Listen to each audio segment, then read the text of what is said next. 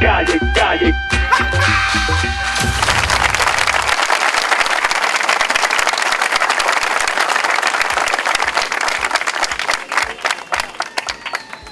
Señorita enfermera. Buenas, doctor. ¿Cómo está? Eh, yo bien, ¿y usted, señorita enfermera, cómo está? Que no se me nota.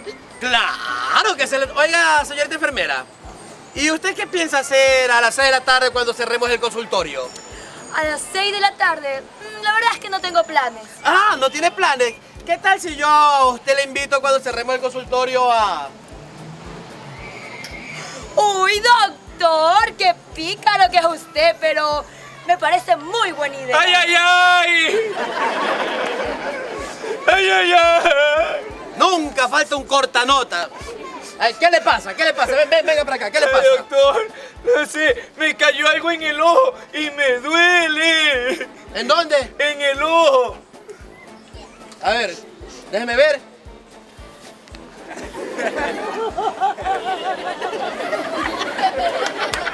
Oh. Usted lo que tiene es un cuerpo extraño. ¡Cuerpo extraño! ¡Y bien Usted no es que tenga un cuerpo de quinceañera, doctor. Le dijeron viejo el doctor. Eh, señorita enfermera, por favor, cójale los datos al, al caballero y lo hace pasar al consultorio. ya, doctor. Cortanota. Bueno, dígame, ¿cuál es su nombre? Eh, Y yo me llamo Chuchito de la Bajada y Delgadillo.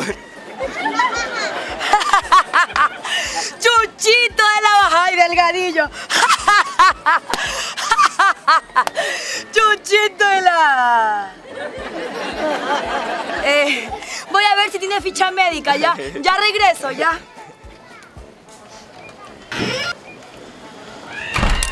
Doctor, Eh, señorita enfermera. doctor, Eh, dígame. doctor, este... Creo que el señor no tiene ficha médica. ¿Podemos revisar? Eh, ¿Me da el nombre del paciente? Sí, doctor. Chuchito de la bajada delgadillo. ¿Cómo, cómo? Chuchito de la bajada delgadillo. Chuchito. de la bajada del gadillo. Sí, doctor. A ver, déjame ver, aquí tiene unos expedientes, Chuchito. Eh, no, no, no creo que tiene ficha médica.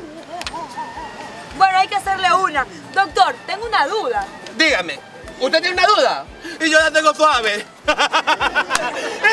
Pues chiste, no tiene duda, yo la tengo suave. eh, dígame, ¿cuál es su duda, señorita enfermera?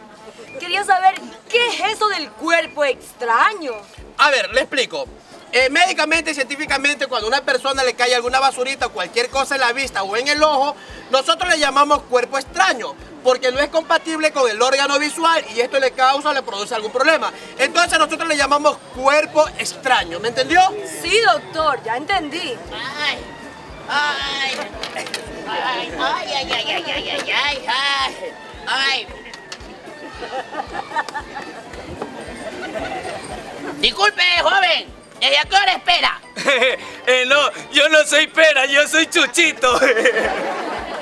No, no, no, no. Yo lo que quiero decir que a qué hora está aquí. Eh, no hace mucho, como hace unos cinco minutos nomás. Ah, ya, bueno, bueno. Oiga, ¿y usted qué tiene? El doctor dice que yo tengo un cuerpo extraño.